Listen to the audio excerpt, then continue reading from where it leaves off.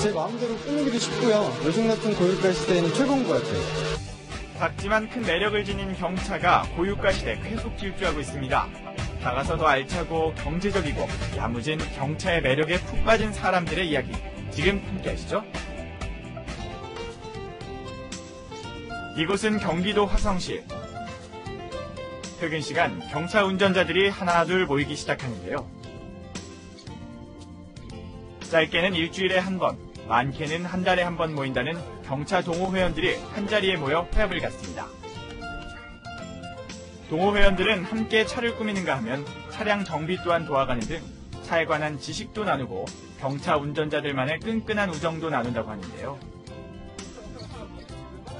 일단 승용차보다는 경제적인 면에서 더 적게 드는 게 사실이에요. 어, 제 경차는 어, 그 1000cc 배기량보다는 두 배의 힘을 갖고 있거든요.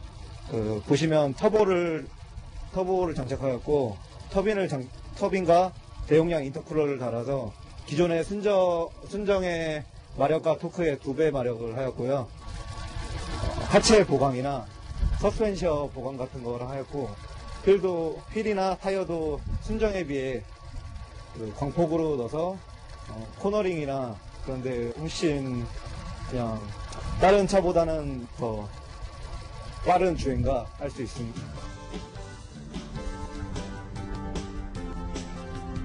일 년 정도 됐고요. 저희 차를 서로 좋아하고 사람들 만나는 걸 좋아하는 사람들끼리 만나서 이 모임을 가졌습니다. 경제적이기도 하고 좁은 길이나 주차 공간 그런 데서도 편의하기 때문에 어, 다른 사람들이 봤을 때 경차에 대한 시선은 그렇게 신경을 안 쓰는 편입니다. 경차에 관한 오해와 편견도 있었지만 경차의 탁월한 경제성 때문에 몰고 다닌다는 동호 회원들. 함께 만나면 이렇듯 세차도 한다는데요. 작아서 세차하기도 수월하다고 합니다. 그렇다면 경차 동호 회원들이 밝히는 세차 요령과 비결은 무엇일까요? 일단 노하우는 어차피 모든 것, 그러니까 이게 거품을 위에서부터 뿌리면 밑으로 다 흐르잖아요.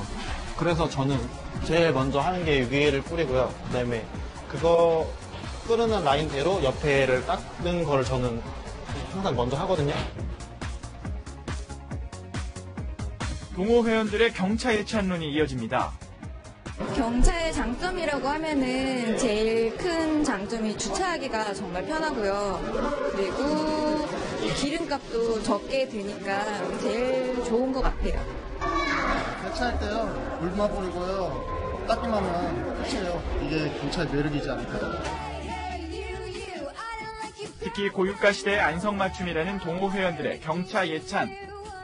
함께 정보를 공유하며 스마트하게 경차를 운행하는 그들의 질주는 계속됩니다.